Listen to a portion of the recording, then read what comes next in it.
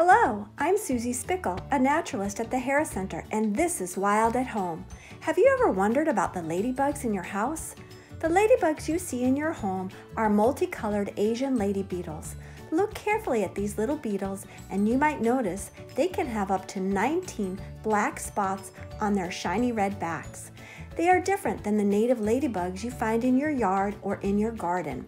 The multicolored Asian lady beetles are originally from Asia and ended up here when scientists thought they would be helpful in controlling other insect pests by eating them. You find them in your home because they have taken shelter in the cracks and crevices of your house for the winter. But during the warm days of early spring, overwintering beetles become active, and in their search for an exit, they can enter your home's living areas. These ladybugs are a great chance for you to check out something wild in your own home.